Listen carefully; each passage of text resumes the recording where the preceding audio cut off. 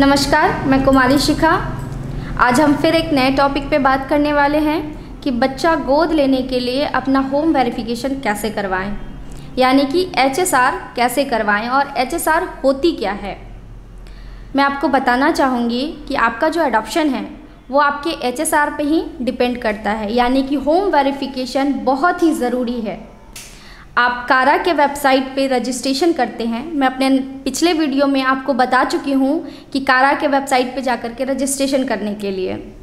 मैं अपने इस वीडियो में ये बता रही हूँ आपको कि आप रजिस्ट्रेशन जब कर लेते हैं, सारा डॉक्यूमेंट्स जब अपलोड कर लेते हैं तो आपको एक एजेंसी का कोड दिया जाता है जो आपके डिस्ट्रिक्ट में अवेलेबल होता है। अगर आपके डिस्ट्रिक्ट में एडॉप्शन एजेंसी नहीं है तो आपको दूसरा डिस्ट्रिक्ट का ऑप्शन दिया जाएगा। आप रजिस्ट्रेशन जिस टाइम करेंगे, उस टाइम आपको ये सेलेक्ट करना होगा कि आपका वेरिफिकेशन जो है, वो किस डिस्ट्रिक्ट में करवाना है।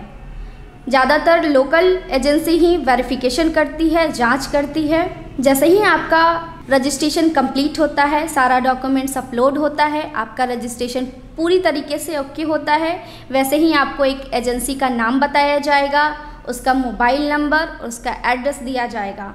आप एजेंसी से कांटेक्ट कर सकते हैं और पूछ सकते हैं अपने रजिस्ट्रेशन और वेरिफिकेशन के बारे में, या फिर बहुत सारे एजेंसी ऐसे भी हैं जो एक्टिव हैं, जैसे ही आपका रजिस्ट्रेशन होगा वैसे ही आपको कॉल करेंगे और वेरिफिकेशन के बारे में आपको एक डेट देंगे। वेरिफिकेशन में कौन कौन सा डॉक्यूमेंट्स आपको रेडी करके रखना होगा किन किन बातों का ध्यान रखना होगा, ये मैं अपने नेक्स्ट वीडियो में आपको ज़रूर बताऊँगी। वीडियो ज़्यादा लंबा ना हो जाए, इसीलिए मैं अपने वीडियो को बहुत छोटा रखती हूँ और आपके समय का पूरी तरीके से ख्याल रखती हूँ। अगले वीडियो में हम फिर मिलते हैं, तब तक के लिए मुझे दीजिए इजाज़त। धन्यवाद।